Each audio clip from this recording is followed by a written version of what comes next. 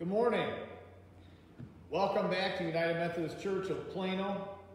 We are in our last week of Advent. So today we're going to be in the scriptures of Jeremiah, chapter 23, verses 1 through 8. But before we get there, uh, we got a couple announcements. Uh, we'll be Christmas Eve. We'll be live uh, in person and on Facebook at uh, 5 p.m. and 11 p.m. And so if you're available and, uh, and you're around, you want to stop by, come on in at uh, between 5. We'll do the one service at 5 and then do uh, our late service at 11 p.m. And uh, uh, the 11 p.m. service will feature communion. Also, uh, we're only going to gather this week, today, tomorrow, and Wednesday. And then we'll, we'll be off Thursday and then our regular day off on Friday. So uh, we're gonna we're gonna be in some uh, some scriptures uh, for the next few days and then be off for a while. Uh, but today I want to talk about Jeremiah 23 verses 1 through 8. As we've been taking time, hey Diane, good morning. As we've been taking time since uh, the first week of Advent, and and sometimes we've gone off the path a little bit, but for the most part, we've been trying to lay the groundwork of the promises and the fulfillment that happened on Christmas. And then we've been looking beyond just Christmas time and Calvary, but looking toward Jesus' second coming. Technically, we have been at, in Advent. Hey, Arlene, good morning. We've been in Advent, or a second Advent, since Jesus rose from the grave and then went home to take his rightful seat on the throne. The disciples watched him be taken up into heaven. And so, technically, we're awaiting, we're anticipating his second advent.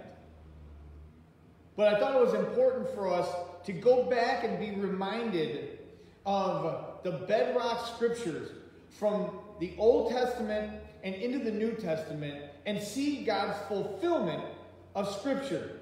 You might remember that over the course of this time, we keep going back to the fact that this happened that scriptures might be fulfilled. Jesus came in this way that the scriptures might be fulfilled. He was named this way that the, the scriptures might be fulfilled. There's this theme that goes along with Jesus' uh, first coming as he enters this world. He fulfills scripture. Now we see that he's obedient. He gives himself as a ransom for you and for me, and from everybody from Adam and Eve on who will receive him, culminating in his ultimate return as the lion of the tribe of Judah. So uh, let's pray. You can uh, crack open your Bible, grab your tablet, your phone, however you want to handle the scriptures this morning. Find your way to Jeremiah chapter 23 verses 1 through 8. And uh, let's pray. Gracious and merciful Heavenly Father, you are the one true King. You are our all in all, the Almighty Sufficient One. You are the one and only true and living God. There is none like you. You are Yahweh, Elohim, El Shaddai, Adonai, Jehovah. Without you, we are lost. So, Father, as we tackle Scripture this morning, we're asking that you be present with us. Lord Jesus, come and guide our study. Speak to us as individuals. Be with us wherever we might be viewing this. Whether it's today, the 21st of December 2020, or if it's in a couple of years and someone stumbles across this and doesn't know why. Be with us. Guide us, lead us, open our heart to receive your scripture this morning. We pray it all, Father, in the victorious name of Christ, who is our Savior. Amen.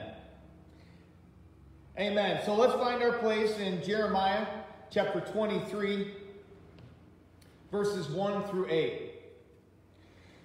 Jeremiah says, Woe to the shepherds who destroy and scatter the sheep of my pasture, declares the Lord.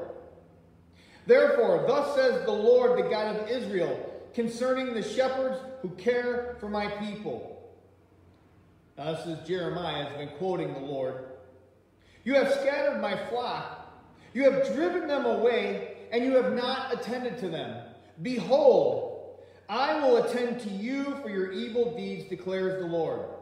Then I will gather the remnant of my flock out of all the countries where I have driven them, and I will bring them back to their fold, and they shall be fruitful and multiply. I will set shepherds over them who will care for them, and they shall fear no more, nor be dismayed.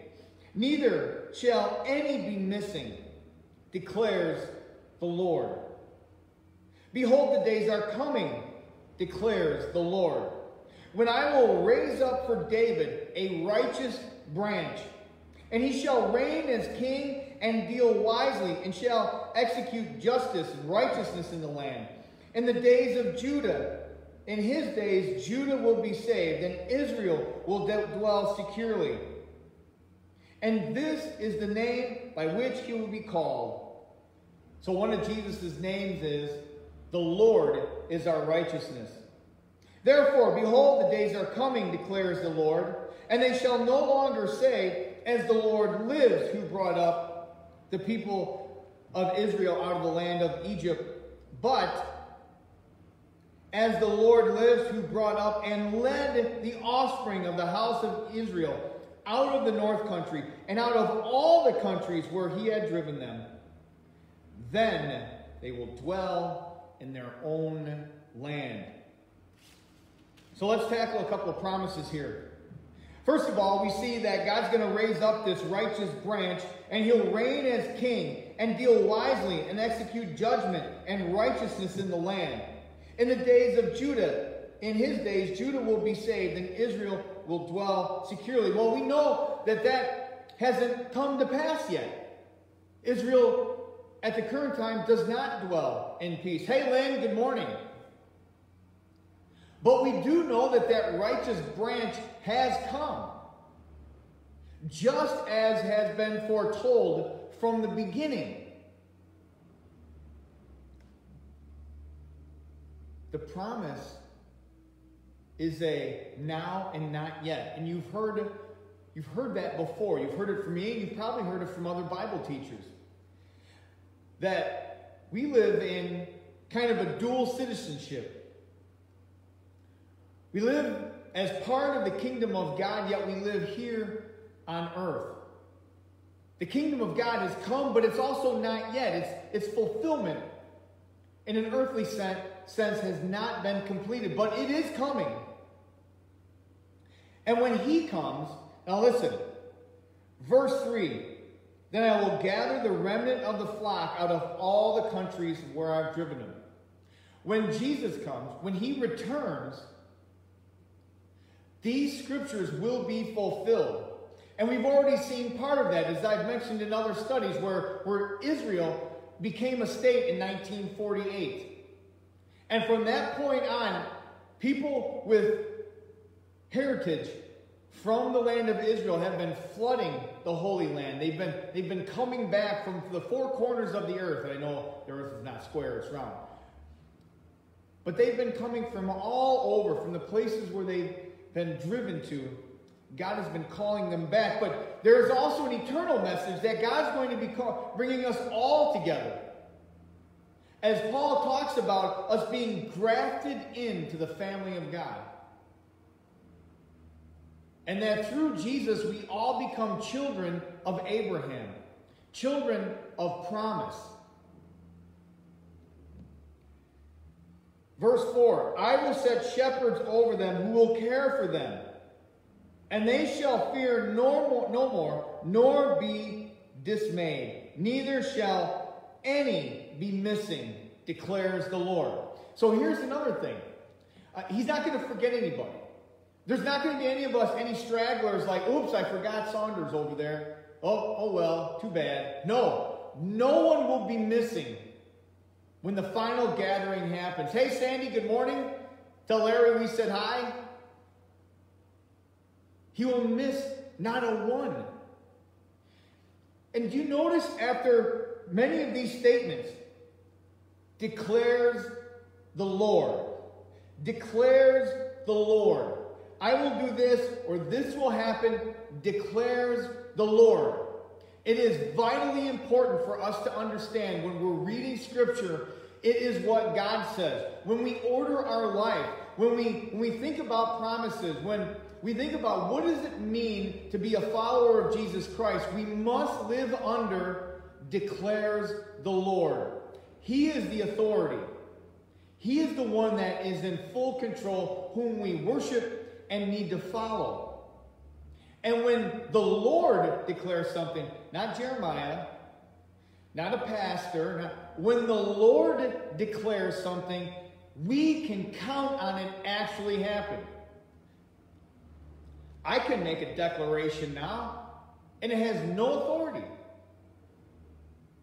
But when God declares something, we're called to honor it, to believe it, and to wait for it. And why can I say that? Because the Lord, when He declares something, has never not done it. When He declares something will happen, it happens. When He declares something won't happen, it doesn't. And when he declares that he's going to save his people, when he's going to raise up a righteous branch to sit on the throne of David, he will do it. 2,000 years later, we've seen that happen. And we continue to see the work of Christ fulfilling the declarations of God. Behold, the days are coming, declares the Lord, when I will raise up for David a righteous branch. He shall reign as king and deal wisely and execute, execute justice and righteousness in the land. Our land, our world is, is crying out for righteousness and justice, for perfect leadership. One day that will happen. As Christ reigns and rules the universe, we will be under this, this pure, this, this righteous, and this perfect justice system. There will be no more bribes. There'll be no more corruption. There'll be no more injustices for the righteous branch, the King of Kings, the pure and holy Christ, our sinless Savior, Savior will rule with a perfect superiority and it will be a kingdom of righteousness and justice. And I'll add of mercy. For all of us know who have surrendered our life to Christ, that He is merciful and full of grace. He is the tender good shepherd. He is the righteous branch. Verse 7 Therefore, behold, the days are coming. Here's the key phrase declares the Lord. When they shall no longer say, and we quoted, as the Lord lives, the people of who led the people of Israel out of the land of Egypt. Verse 8, but they will say, as the Lord lives, who brought up and led the offspring. So now he's talking about not just leading Israel through the Dead Sea and rescuing them from Egypt, but now we'll be saying, as the Lord lives, who brought up and led the offspring of the house of Israel out of the north country and out of all the countries where they have been driven out, then they shall dwell in their land. There is a later fulfillment coming. There is a time when, when God is going to bring all of this together. And Israel and us, as we saw in Galatians, we've seen it in Colossians. Paul talks about it in Romans, about us being by faith in Christ, grafted into the family of faith that we would be grafted in and adopted as children of Abraham, children of the promise. Meaning, we too will be recipients of this time of peace, of celebration, of safety, security, free from all injustice, free from sin, sickness, and death. There's coming a day when Jesus Christ, the King of Kings and Lord of Glory, will rule a kingdom like we've never seen. He will bring restoration. He will bring tenderness. And he will bring the peace that we all seek for. Began with the promise in Genesis, begins its fulfillment on Christmas. It conquers sin and death at Calvary. And then it gives us hope for the return of the Savior. Let's pray. Lord Jesus, thank you for these words of your prophet Jeremiah. Thank you that, that we have hope in the midst of absolute chaos. That through you, the righteous branch, we have a hope of peace, and we actually experience your power and your peace and your comfort here in our days of turmoil.